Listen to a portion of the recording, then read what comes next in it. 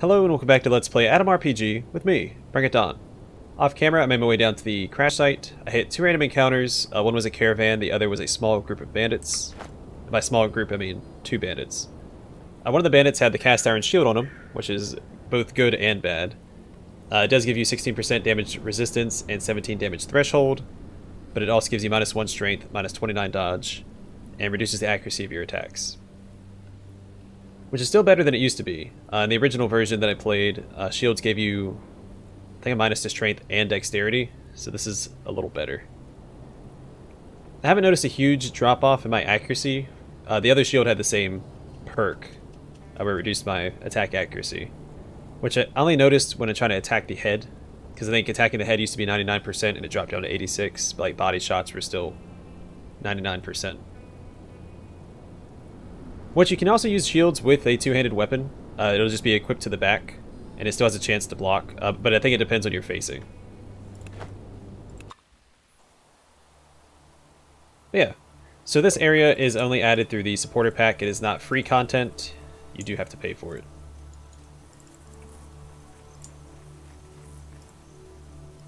And again, the DLC for this is not designed for content. It is to support the developers, which I gladly did.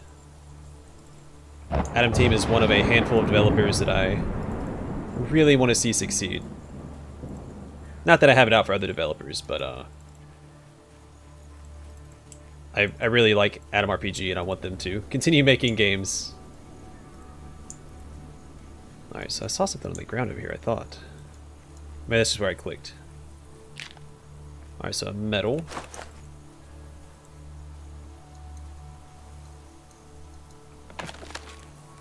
I got the rope, we got the NKVD knife, and we got the Kikimora camo suit. So the NKVD knife, as deadly as it is rare, this combat knife favored by NKVD agents of the past unites balance, effectiveness, and the highest quality steel in one wicked blade. Lets you skin animals, crit chance plus 2%, damage 3 to 15, AP cost is only 2, 3, and 3. That's really good. Then the Kikimora camo suit.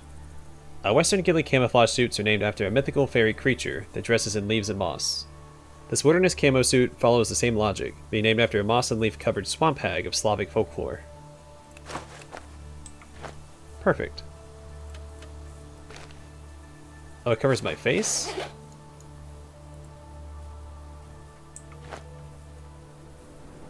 So I can still wear armor with it. Oh, that's pretty cool.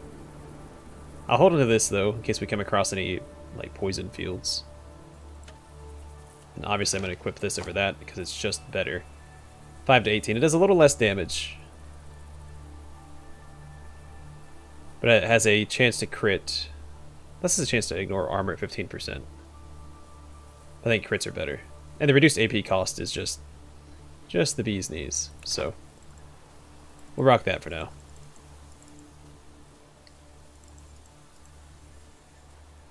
Yeah, anyway, as you can see from this shield, like the stats you get from the shield are really good.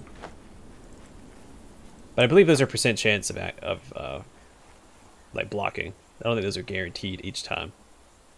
But that's what makes... Oh, where's it at? These so good. So it gives you another 50% chance to block with your shield, and the weight of the shield is no longer no longer counts against you. And then Shield Master, no debuffs for shield use. You just get the damage resistance and threshold. But those are still a little ways off. But now we're going to head towards the Roaring Forest. Just all the way down there.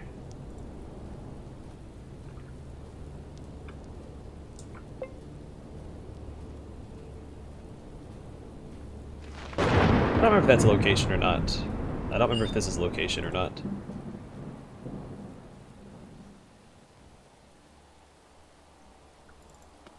Alright, caravanners, where you at? I'm hoping to find some armor. That would be fantastic.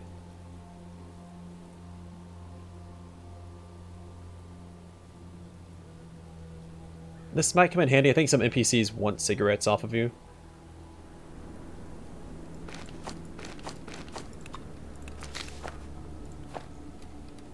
So we'll make that trade real fast, then leave. So the free plus 50 stealth is going to be really good. That'll allow me to get closer to enemy enemies during random encounters before uh, combat starts.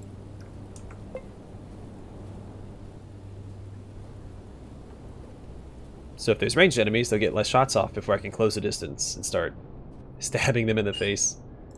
More caravanners. I want combat encounters so that Zulbars and Fidel get experience. But again, if I can find armor... There we go. Leather bless, bless, bless plate. Breastplate. And this. I'm going to grab that as well. And a helmet. Minus two dodge, but that's fine. I don't need the dodge. Okay. We're going to make some trades here. Gonna get rid of that and that.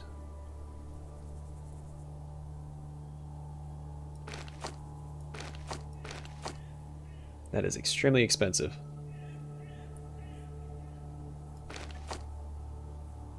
I'm not gonna make up... Oh shoot, I want the nails. I can probably get rid of I need at least one of these where I'm going. Some of these things are getting a little heavy now. But I do need those. I think I need these later on. I'm going to sell it for now. You can find plenty of that later on. There's a, actually one specific location that has a ton of it.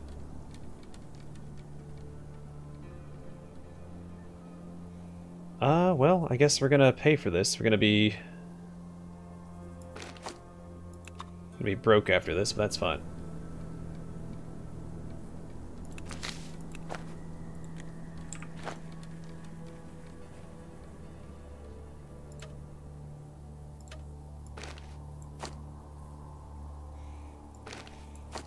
Oh, I can sell the flat cap as well. Because I won't need that.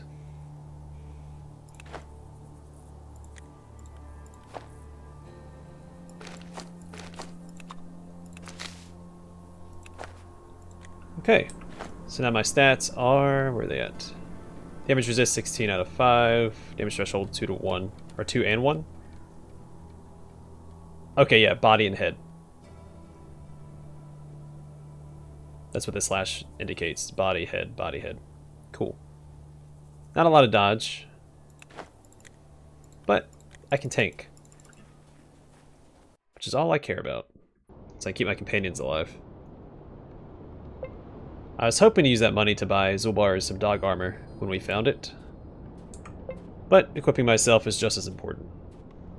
Because I'm usually the first one in combat.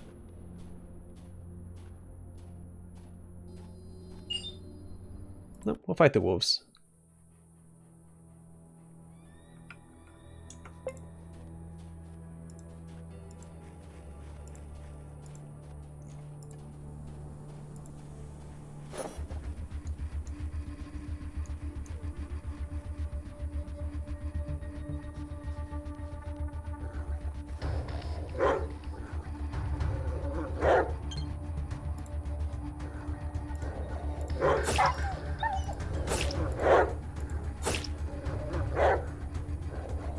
I still want them to come after me, and not Zulbars or Fidel.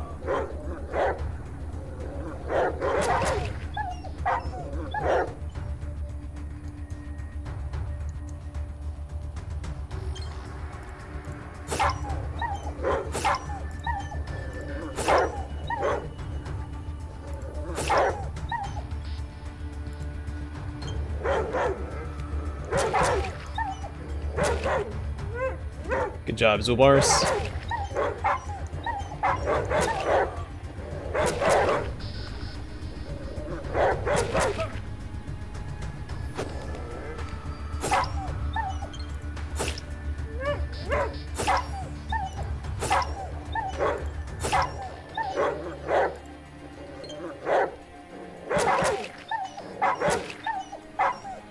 that wolf is still standing.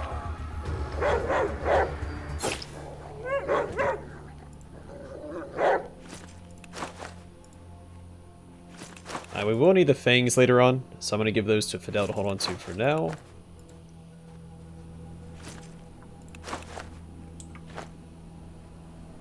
Now let's see. We'll probably give some of this meat to Zulbars. Not all of it, of course, because he can't hold all of it.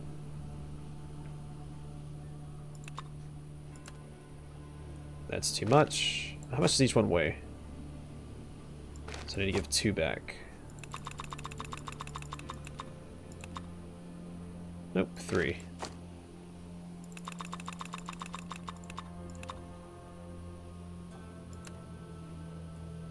What was I going to give to Fidel? Oh yeah, the fangs. Help my own weight management. So we're going to need... I think we need one more of these. But for now, that will do. For when we get back to the abandoned factory. Now, Fidel, here, you can have that as well. Uh, might be a good idea to rest, actually.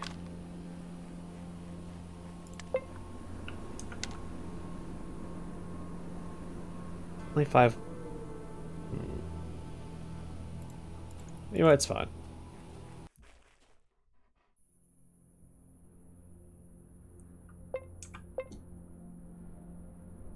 Alright, keep on trekking.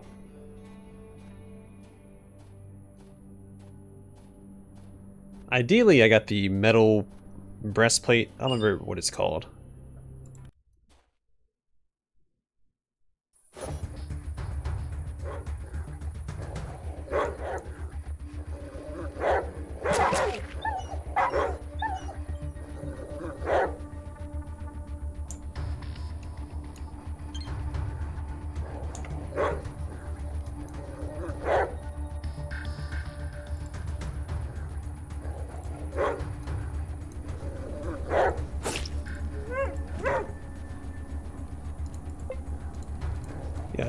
Attack here. Let's move forward. Get him, Zulbars.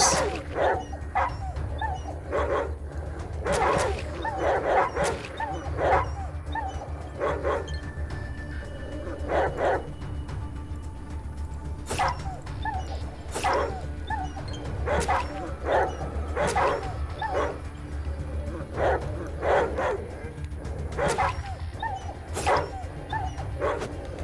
to stop and rest up after this.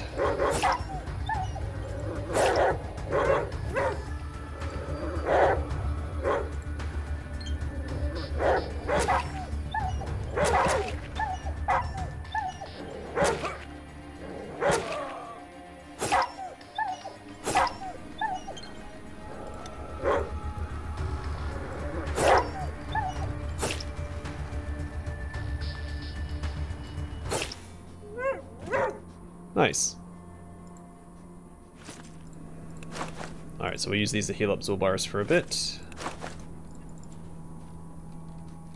of course, give the fangs to Fidel, because that is used for a quest later on. I'm trying to remember which collectibles I need for quests. Let's talk to Zulbars, examine.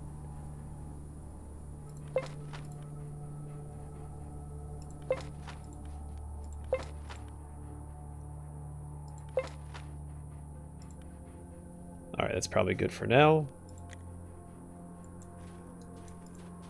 Go check inside this house. Maybe there's a basement with some uh, loot to be had.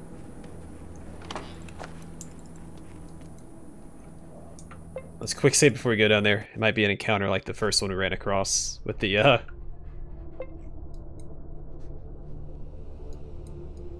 Two armed individuals. Alright, this is new.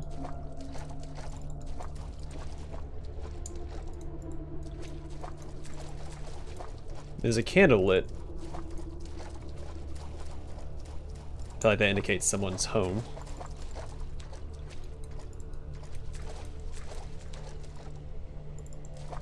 There's just nothing down here?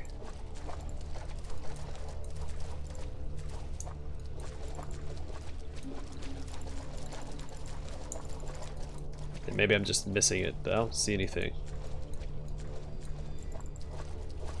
Alright, let's leave then. Got poisoned and that was it.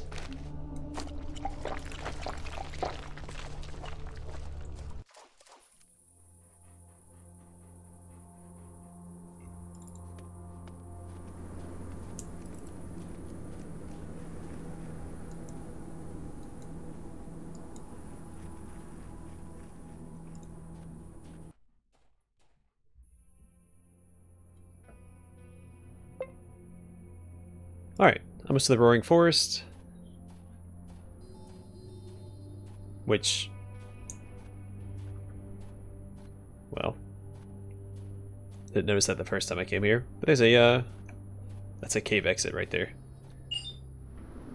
Oh, you found an animal path. Local animals are probably going into the watering hole... To the watering hole here. Uh, do you want to try and hunt here? Yeah, we'll try it. 32% chance.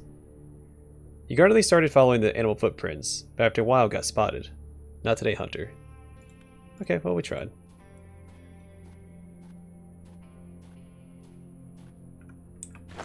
Alright, let's eat a snack real fast.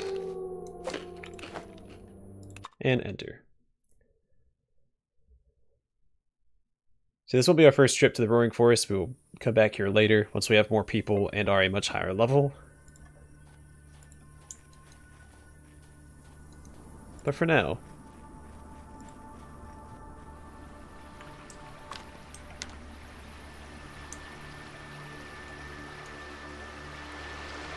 See, I thought you came in from the other direction. I guess I was wrong.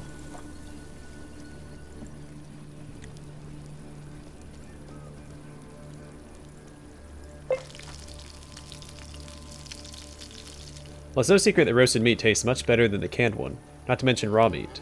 You lick your fingers after the meal, feeling that your life forces are returning to you. You also gain a little bit of that culinary experience.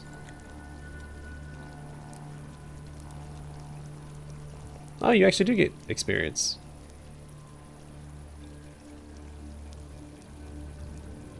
Neat. Let's do that one more time.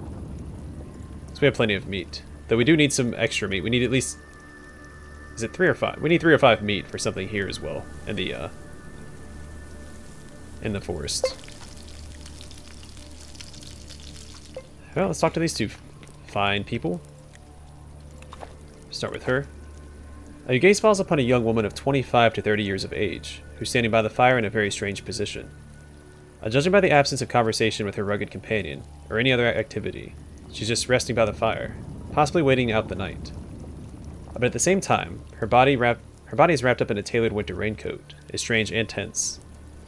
Her shoulders are spread out and on the whole. She looks ready to dart off any second. Although it's not fear, at least you don't notice this emotion on her face badly lit by the fire. A different, much stranger guest comes to your mind. The stranger is standing in the at attention position, waiting for some order. And she notices you. The woman flinches as if she woke up from a stupor. She quickly draws an outdated, reusable metal syringe from within her coat, and grabs it by the plunger, as if she was holding a dagger. I'm warning you. Another step and I'll have to defend myself. The woman makes a short, sharp nod towards the thick steel needle that's facing you. I'll explain. Should this mixture of sodium peroxide and alumi alumini aluminium aluminum shavings get in the bloodstream of any of my adversaries, it'll turn him into a living torch, let alone a nobody like yourself. The woman gets silent, evidently hoping that the speech she gave will make you flee.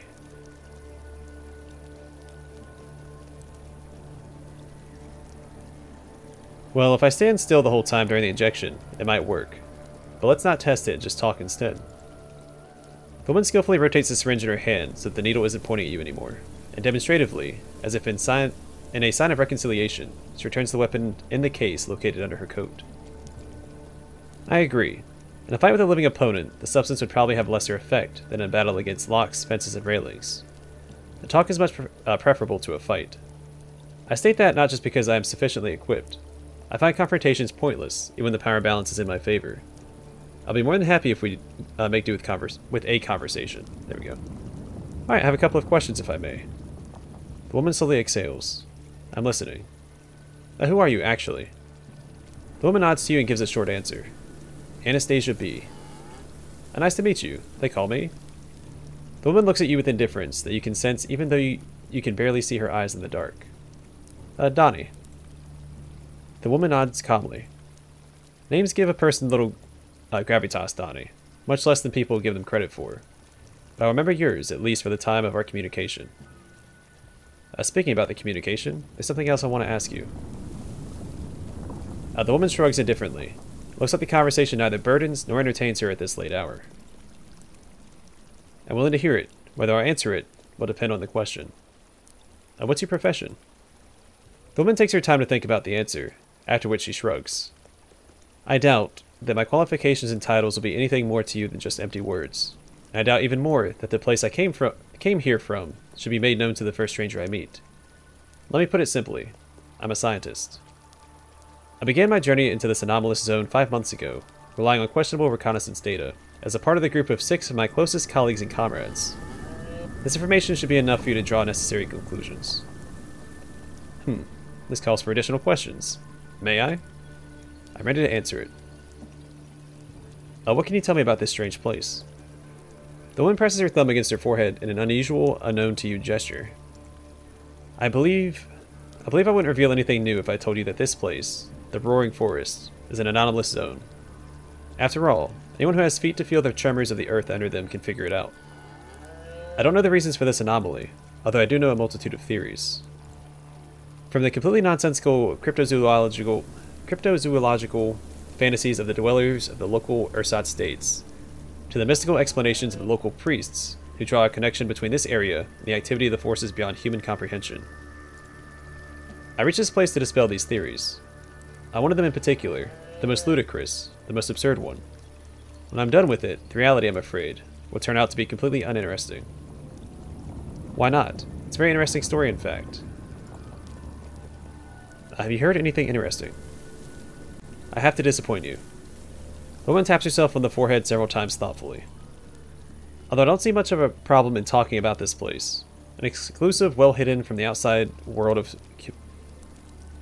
well hidden from the outside world community of specialists that I come from, many years ago has fallen victim to what has started as an absurd, unsubstantiated theory, and continued its existence as a pseudo-religious dogma.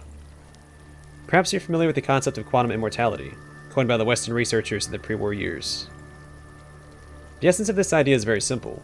The observable universe is just a mater materialization of one of the multitude of possibilities, a point in infinity, that according to the larger anthropic principle, looks like the one of its kind only because its alternatives are not available to our vision.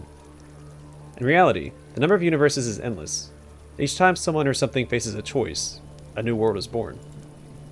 Utilizing colorful metaphors, I'll present the following image.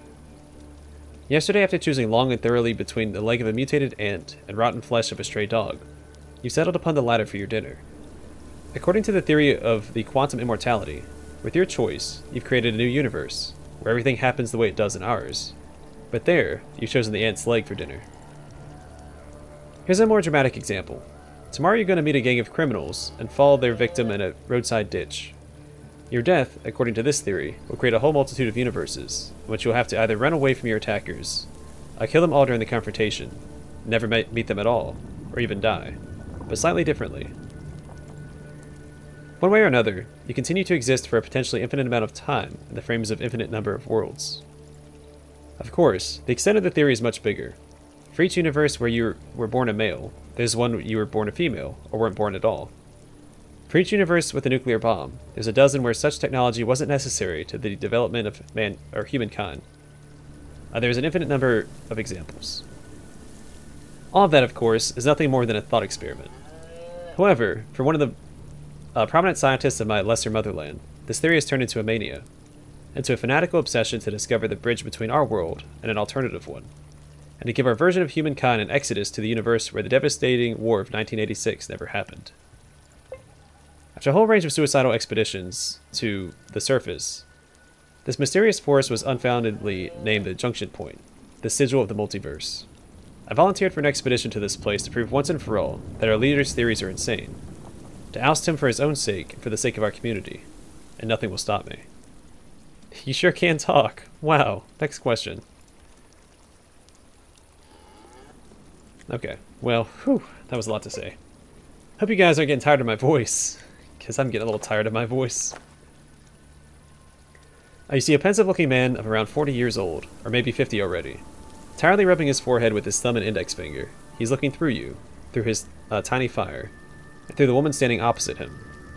The darkness of the deep night, surrounding you and the uneven, constantly flickering light of the fire, prevent you from determining not only the man's approximate age, but even his facial features.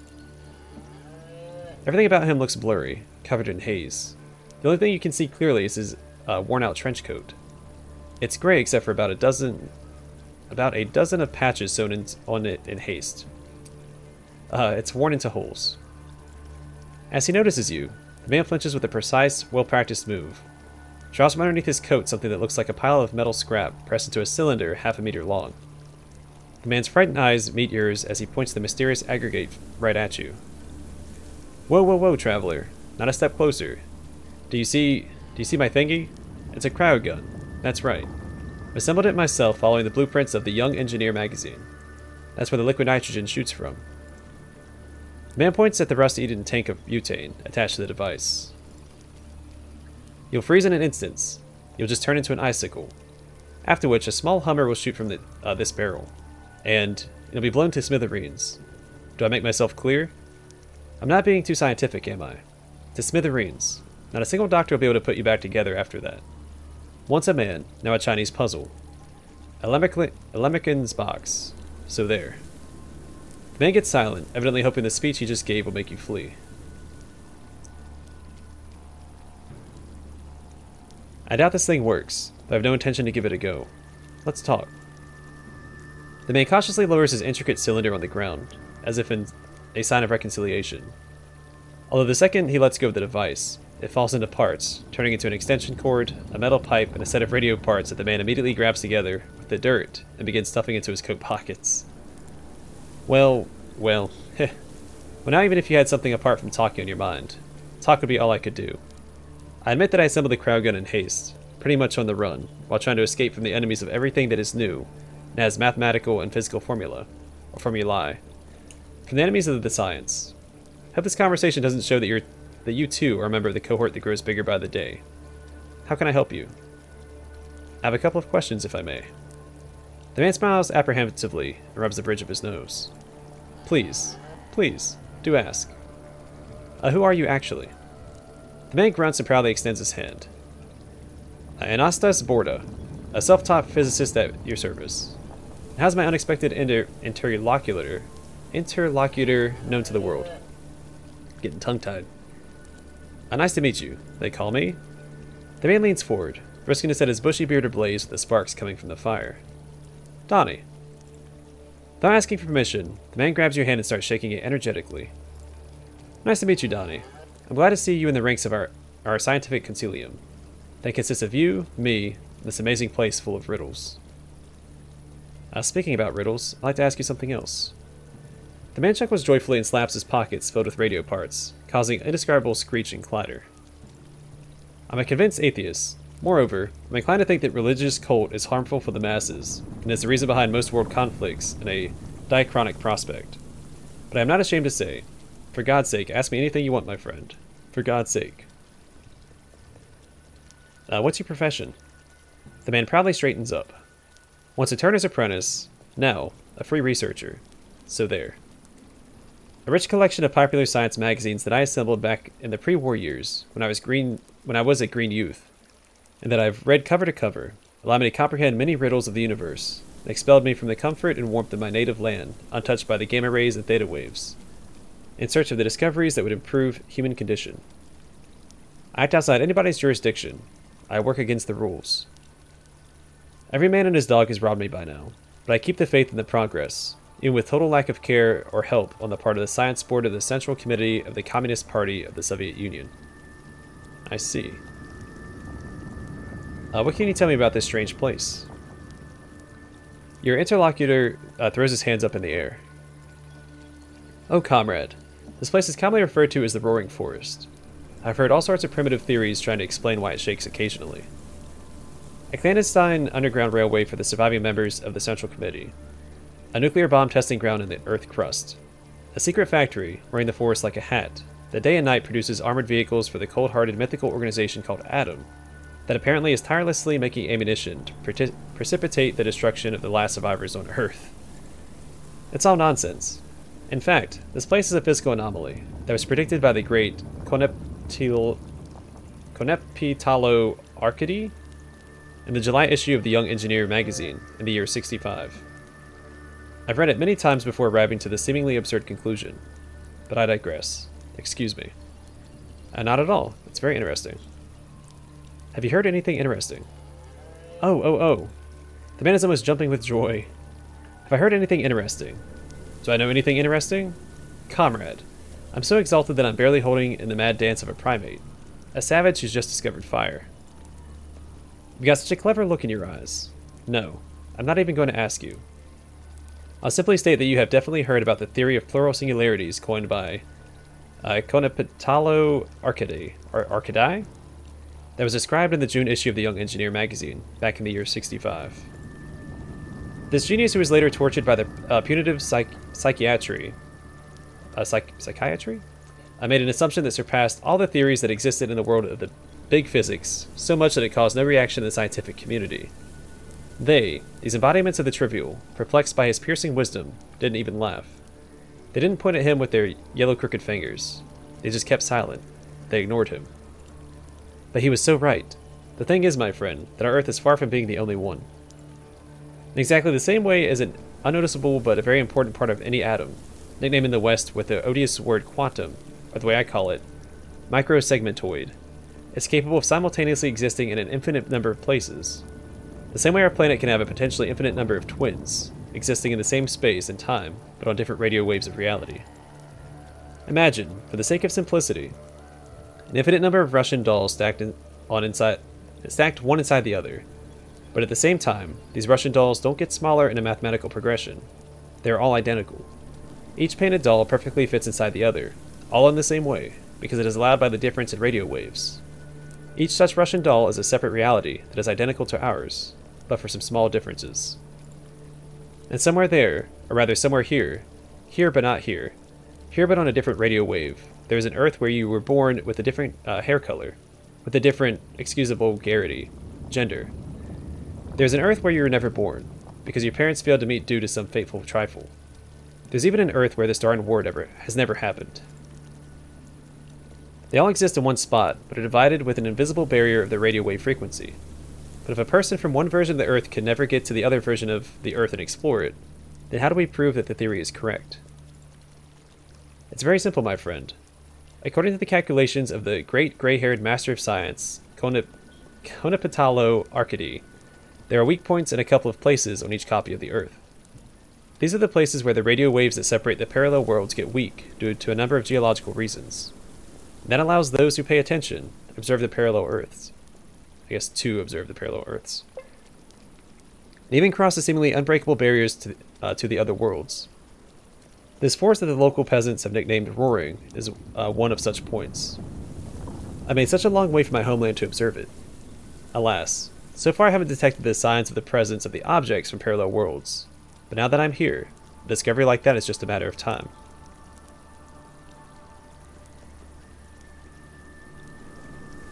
Wow, I can see that you're as, as passionate about this theory as your companion. The man flinches and shuts his mouth, just as he was about to say something. He is clearly scared. Almost a minute passes before he speaks again, showing no sign of his previous joyfulness. Excuse me, but who are you talking about? Uh, what do you mean, mate? Are you alright? Who indeed? Why, her out there, the lady. Point at the woman standing by the fire. The man stares over your shoulder fearfully. His glance bounces off the foot-worn pieces of the land where the woman is standing, but doesn't focus on her once. The woman is deep in her thoughts, is not even looking at the two of you. Perhaps you had good intentions that are only clear to you, but you really scared me, my friend. There's nobody there, and there was nobody there before either. I was whiling away this night on my own before you came here to keep me company. Wait, she's standing right, right here. The man quietly swallows the lump in his throat and looks at you apprehensively, as if you were a dangerous lunatic. Alright, ahem, whatever you say. Yeah, there she is. That woman. I see her. Wow, she's cool. Your interlocutor coughs embarrassedly and uh, carefully steps away from you. But, but, ah to hell with you. Let's change the subject. The scientist addresses you in an apologetic voice. My friend, don't be angry. I really have no idea what you're talking about. Now tell me, what information do you need from me?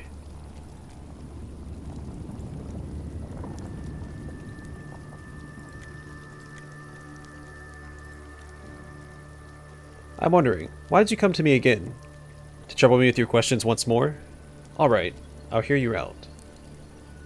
Uh, listen, your mate pretends not to see you. What's that all about? The woman looks at you disapprovingly. Uh, what is this gibberish? Are you seriously assuming that I'm willing to waste my time on this nonsense? There's no one here except you and me. Perhaps this insistence on the lie is some old way to scare me, rooted in the tradition of campfire stories. Uh, there he is, the man sitting on the other side of the fire. He's a scientist as well, albeit a rather questionable one. Your interlocutrice isn't even looking in the direction you're pointing. I insist we do without anti-scientific suggestions. You and me the only people for hundreds of meters around. Well, except for Fidel, but... But, ah, it's the same thing we said last time. The woman addresses you in an apologetic voice. Please, don't think it's a mockery, but is everything alright with you? These visions indicate the inadequacy of your consciousness. Tell me what you came... Tell me what you came here for, or leave me alone.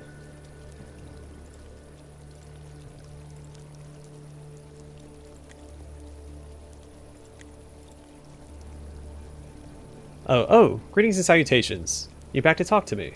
Hopefully mysterious night women stopped appearing to you. Listen, this is not funny anymore. You're telling me that you can't see the woman standing on the other side of the fire. She swears that she's alone here, that she can't see you. The man looks around in fear. Young man, you're going to scare anyone like that, even this hardened skeptic. Oh, excuse me. Uh, we, scientific atheists, are not a superstitious folk. But if you continue telling me how, in my proximity, you observe some women who deny my existence, I'll be compelled to start fearing for my life and for the condition of your cerebellum. Uh, she's standing right next to you. That's enough. I've told you already that there is no one here but us, and you keep going on about it. If it's a joke, then please stop. If it's not, what would you like me to agree with you? Will it prevent you from doing anything dangerous? Address the woman. Hey, here's that man. I'm talking to him right now. Point at the man in front of you. The woman gets distracted from her thoughts and looks at you in surprise. You're pointing once again at the man who is shaking like a leaf. He begins to slowly step back from you. Without taking her worried eyes off you, the woman begins to retreat as well.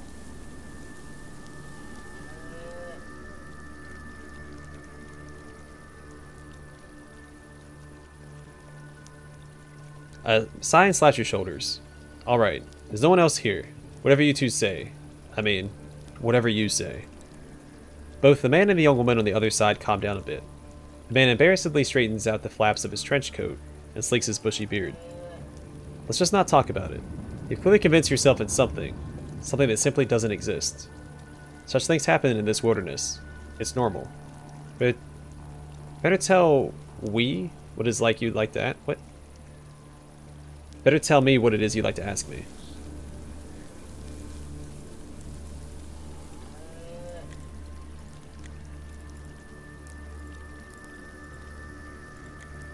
Alright, so I think that's it for this conversation. But yeah, it's a neat little uh,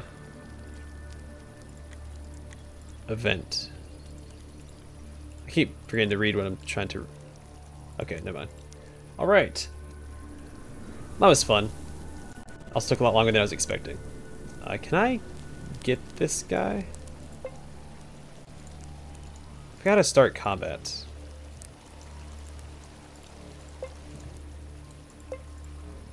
Is it enter? No. Hmm. I can trap him?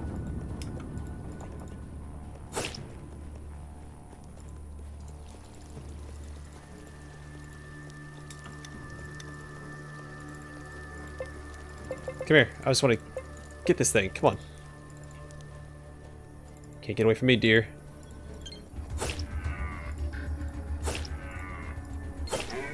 Hey, 42 experience. And some meat. Alright, I'm gonna call it here. In the next episode, we'll continue exploring the Roaring Forest, where, uh, things just as interesting as this conversation We'll, or we'll find things just as interesting as this conversation. It's a couple of neat things to do here, and uh, some things we won't be able to do yet. We'll have to come back for later. It's a pretty big area. Anyway, thanks for watching. I will see you guys in the next episode.